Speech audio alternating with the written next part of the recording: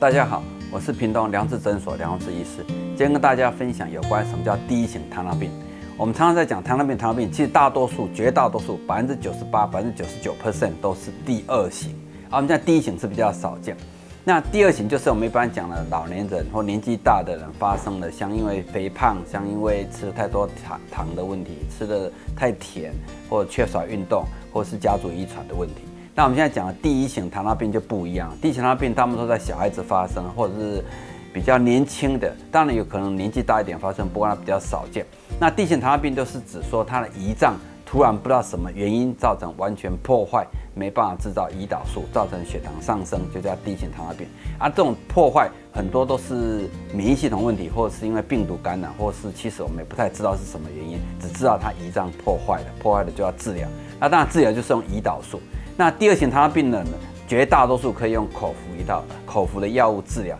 但是第一型糖尿病就用胰岛素。那很多人对胰岛素会害怕，